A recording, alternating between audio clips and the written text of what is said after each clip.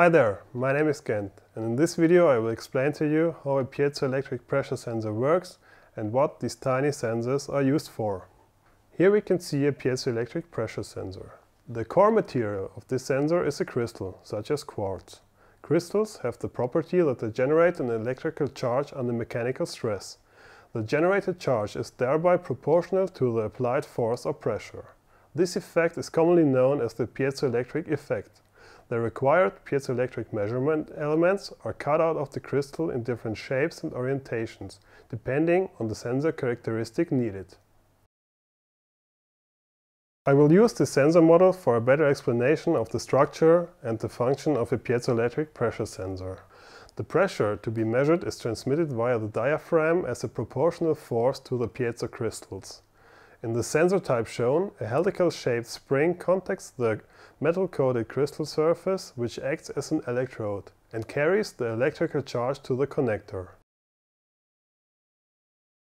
The electrical charge generated by a piezoelectric sensor is in the order of a few picocoulombs only. This tiny little charge needs to be converted by a charge amplifier into a voltage signal which can then be processed by a data acquisition system. Due to their high natural frequency, piezoelectric pressure sensors can be used for a wide range of applications, where dynamic pressure changes with very fast pressure rise times down to 1 microseconds must be measured. Some of these applications with dynamic pressure changes include the testing of pyrotechnical devices, such as airbag components, or shockwave physics such as shock tubes and blast waves. In addition, piezoelectric pressure sensors are the first choice for measuring very small pressure changes at high static pressure level. The piezoelectric technology enables long-term measurement of very small pressure pulsations with high resolution and excellent signal-to-noise ratio for a frequency range of over 100 kHz.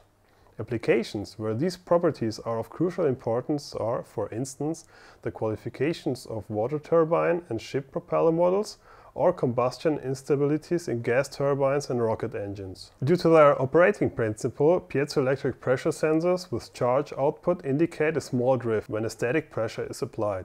This drift limits the measuring time in which static pressure can be measured with this technology. This is why piezoelectric pressure sensors with charge output are considered suitable for measuring quasi-static pressure, but not true static pressure. By contrast, sensors based on the piezoresistive principle operate largely drift-free. However, piezoelectric pressure sensors are the preferred choice for measuring quasi-static pressures in applications requiring sensors with compact design or measurements at cryogenic or high temperatures over 125 degrees C. As already mentioned earlier, piezoelectric pressure sensors are connected to a charge amplifier, which converts the charge generated by the sensor into a voltage signal. If the charge amplifier is an external device, it is referred to as a charge output or PE sensor. If the electronic circuit is integrated into the sensor housing, then it's referred to as a voltage output or IEP sensor.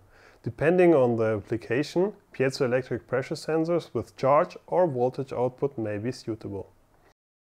All of the provided information and much more can be found in our T&M pressure catalog. And for further questions, please do not hesitate to contact us.